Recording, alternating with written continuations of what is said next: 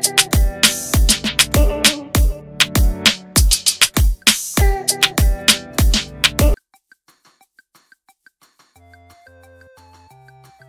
บอโตรแจงยกเลิกทรงผมขาวสามด้านเผย ถ้าไม่ทำตำรวจคงปลอมตัวได้ แต่พระผอบอโตรแจงยกเลิกทรงผมขาวสามด้านหลังลงพื้นที่แล้วพบอุปสรรคการทำงานตกเป็นเป้าของผู้ประสงค์ร้ายได้ง่าย เผย ถ้าไม่ทำตำรวจคงปลอมตัวได้แต่พระ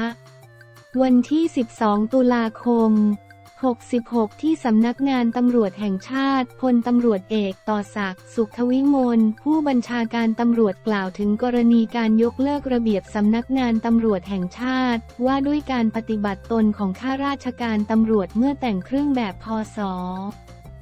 2561 ที่เคยกำหนดให้ข้าราชการตำรวจชายตัดผมสั้น ขาวทั้ง 3 ด้านความยาวด้านบนไม่เกิน 3 เซนติเมตร เปลี่ยนเป็นผมด้านบนความยาวไม่เกิน 5 เซนติเมตร ด้านข้างและด้านหลังความยาวไม่เกิน 1 เซนติเมตรพลตำรวจเอกต่อศักดิ์กล่าวว่าการปรับเปลี่ยนเรื่องระเบียบทรงผม สืบเนื่องมาจากนโยบายของผู้บัญชาการตำรวจแห่งชาติทุกท่าน ที่ให้ผู้บังคับบัญชาลงพื้นที่ไปตรวจเยี่ยม เพื่อเป็นขวัญกำลังใจให้กับตำรวจชั้นใต้บังคับบัญชาที่ปฏิบัติงานในพื้นที่ ฉะนั้นสิ่งที่ตนเก็บข้อมูลมาตั้งแต่เป็นรองผู้บัญชาการตำรวจแห่งชาติ เป็นผู้ช่วยผู้บัญชาการตำรวจแห่งชาติ ภาพสะท้อนของน้องๆเด็กๆ ระดับผู้ใต้บังคับบัญชาการที่ได้ลงไปสาม จังหวัดชายแดนภาคใต้ทำให้ได้เห็นปัญหาเรื่องทรงผมว่าที่พวกเขาไว้ทรงผมตามระเบียบกลายเป็นตัวชี้เป้าของผู้ก่อเหตุไม่สงบ ฉะนั้นพอตนได้มีโอกาสมารับตำแหน่งตรงนี้จึงอยากจะทำเป็นนโยบายถือว่าเป็นการ top up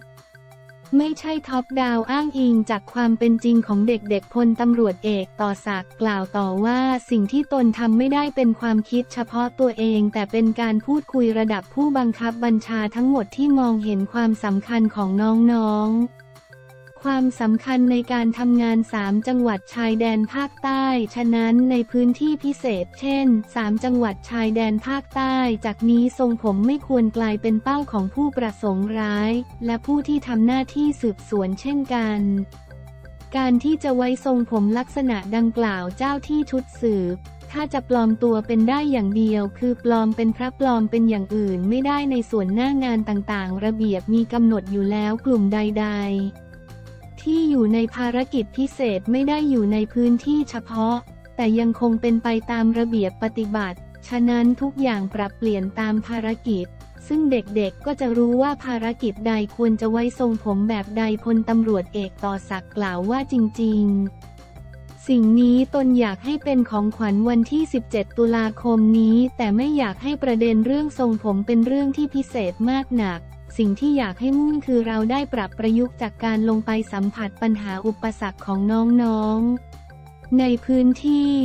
จากนี้ไม่ใช่เพียงการไปตรวจเยี่ยมเท่านั้น แต่ต้องเอาปัญหามาแก้ไขถือเป็นนโยบายของผู้บังคับบัญชาทุกท่าน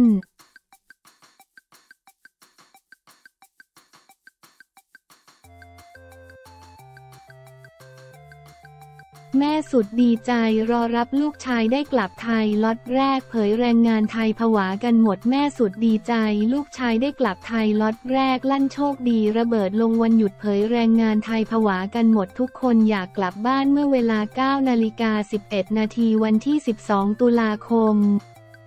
66 ที่ท่าอากาศยานสุวรรณภูมิแม่ของนายสุพิพัฒน์กงแก้วชาวจังหวัดยะโสธรหนึ่งในคนไทยล็อตแรกที่เดินทางกลับจากอิสราเอล เปิดเผยว่าลูกชายเพิ่งเดินทางไปทำงานเมื่อประมาณวันที่ 30 พฤษภาคม2565 รวมแล้วประมาณ 1 ปี 5 เดือน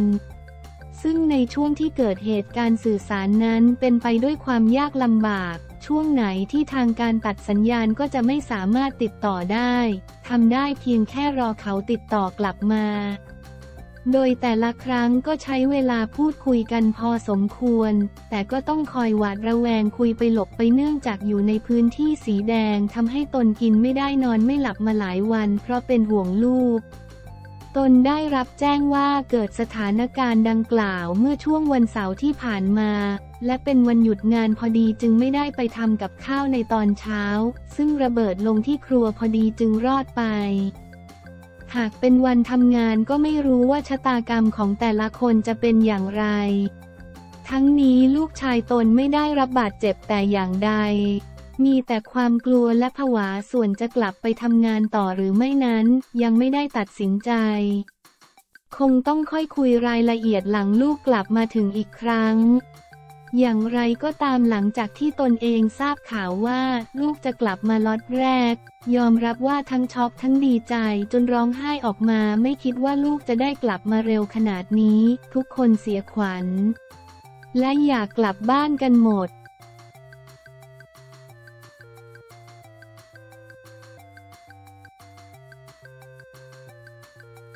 สอสอฟิล์มโพสต์อะไรภรรยาสาวไม่ต้องเป็นห่วงหลับให้สบายนะ นางฟ้าส.ส.ฟิล์มโพสต์อะไรภรรยาสาวไม่ต้องเป็นห่วงหลับให้สบายนะ นางฟ้าไม่ต้องกังวลอะไรแล้วคอยดูความสำเร็จฟิล์มอยู่บนฟ้า จากกรณีการเสียชีวิตของพลอย ญาดาภา ตันสุดเจริญยิ่งภรรยาของนายสุภโชคศรีสุขจร หรือฟิล์มส.ส.นครปฐมพรรคชาติไทย พัฒนาที่จากไปเมื่อวันที่ 11 ตุลาคมที่ผ่านมานั้นสำหรับความคืบหน้าวันที่ 12 ตุลาคม 66 นายสุภโชคศรีสุขจรโพสต์ภาพและข้อความลงเฟซบุ๊กสุภาโชคศรีสุขจร ร้อมโพสต์รูปภรรยาสวมชุดไทยและระบุว่า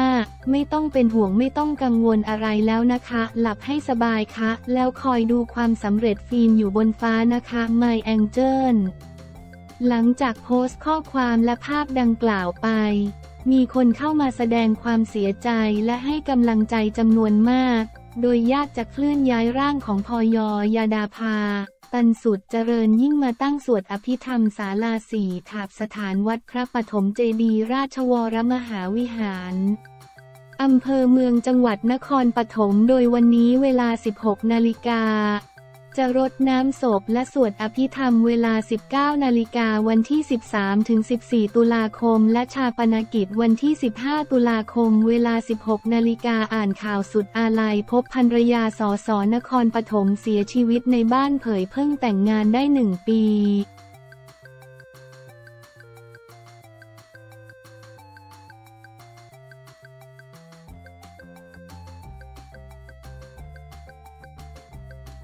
ฟิลิปปินส์ขอโควต้าปาเกียว ร่วมชิงชัยโอลิมปิกเกมส์ 2024 เป็นกรณีพิเศษคณะกรรมการโอลิมปิกแห่งฟิลิปปินส์ POC ได้ยื่นคำร้องอย่างเป็นทางการเพื่อขอให้ แมนนี่ ปาเกียวกำปั้นชื่อดังลงแข่งขันใน โอลิมปิกเกมส์ 2024 เป็นกรณีพิเศษสำหรับปาเกียวประสบความสำเร็จมากมายในอาชีพด้วยการเคยคว้าแชมป์โลกมาครองถึง 8 รุ่น และมีสถิติการชกชนะ 62 ไฟจาก 72 ไฟเป็นต้น ทว่าเจ้าตัวยังไม่เคยเข้าชิงชัยในการแข่งขันโอลิมปิกเกม แม้แต่ครั้งเดียวโดยตามเกณฑ์ของโอลิมปิกนักกีฬาที่จะเข้าร่วมชิงโควต้าแข่งขันจะต้องมีอายุไม่เกิน 40 ปีทว่าในปัจจุบันปาเกียวมีอายุ 44ปีแล้วนั่นหมายความว่าเจ้าตัวจะหมดสิทธิ์ร่วมมหกรรมกีฬาดังกล่าวแล้ว ถึงกระนั้นล่าสุด POC ได้ยื่นคำร้องไปยังคณะกรรมการโอลิมปิกสากล IOC เพื่อขอให้กำปั้นเจ้าของฉายา The Pac-Man